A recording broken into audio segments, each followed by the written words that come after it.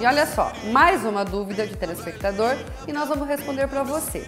E aqui diz o seguinte, ó, eu queria saber sobre o pomo de Adão, que é conhecido como esse gogó. Eu acho o meu meio projetado, muito grande, muito grande.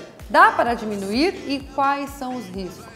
Dr. Luiz Gustavo Pitarello responde para você. Bom dia, Dr. Luiz Gustavo.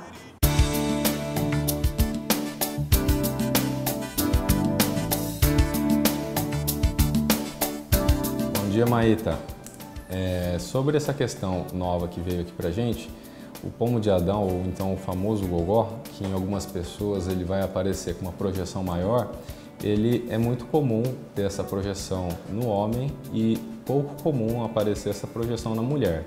Isso está relacionado com uma estrutura chamada cartilagem tireoidiana. Então, o pomo de Adão, ou o famoso gogó, é a cartilagem que vai abrigar toda a região da laringe. Então, dentro dessa estrutura que a gente tem aqui projetada no pescoço, a gente vai ter nessa estrutura as cordas vocais. Então, é possível que se faça cirurgias e procedimentos para que a gente consiga diminuir um pouco o volume dessa cartilagem tiroidiana, mas isso também existe uma limitação, justamente porque ela é o estojo laríngeo e ela abriga também estruturas importantes como é, o timbre, como a, as cordas vocais que vai interferir no timbre da voz. Então, se a gente interferir muito na anatomia dessa estrutura, a gente vai interferir também na qualidade no timbre da voz da pessoa. Então, naquela pessoa, principalmente mulher, que tem uma projeção maior e se sente incomodada com isso, é possível sim fazer um tratamento cirúrgico chamado tireoplastia para que a gente consiga diminuir através de uma abordagem para fazer uma raspagem, uma diminuição dessa cartilagem para diminuir essa projeção. Isso daí visando mais o aspecto estético. E no homem, da mesma forma, também a gente consegue fazer esse procedimento, são procedimentos semelhantes, mas com é, finalidades diferentes, porque a mulher ela visa mais a diminuição do volume por conta da questão estética.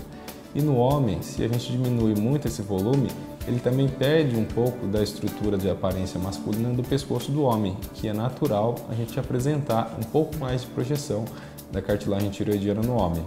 Então, para quem é, tem interesse em saber sobre o gogó, é possível sim uma intervenção nessa área, é possível sim uma diminuição do volume, mas também com limitações. A gente não pode excluir esse tipo de cartilagem do pescoço, porque ela é fundamental na é, fonação, na, a, no abrigo da estrutura das cordas vocais, mas a gente sempre pode fazer uma intervenção menor com uma melhora na qualidade do, da aparência do pescoço, com a finalidade estética também, tá bom?